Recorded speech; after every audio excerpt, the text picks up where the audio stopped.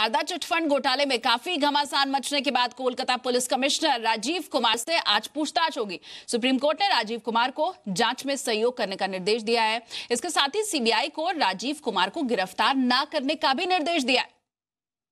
पूछताछ के लिए राजीव कुमार कल शिलोंग पहुँचे। राजीव कुमार पर शारदा घोटाले की जाँच के दौरान सबूत को नष्ट करने का आरोप है। सुप्रीम कोर्ट के आदेश के बाद राजीव कुमार आज सीबीआई के सवालों का सामना करेंगे। हालाँकि सुप्रीम कोर्ट ने यह भी साफ़ किया कि राजीव कुमार को गिरफ़्तार नहीं किया जा सकेगा। इससे पहले सीबीआई की टीम 2 फरवरी को राजीव कुमार से पूछताछ के लिए कोलकाता में उनके घर गई थी। लेकिन कोलकाता पुलिस ने सीबीआई अधिकारियों को ही हिरासत में ले लिया। ममता बनर्जी भी राजीव कुमार के समर्थन में आ गई और मंत्रिमंडल के साथ धरना शुरू कर दिया। मामला सुप्रीम कोर्ट पहुँचा, जिसके बाद कोर्ट ने राजीव कुमार को जाँच में सहयोग करने का निर्देश दिया था।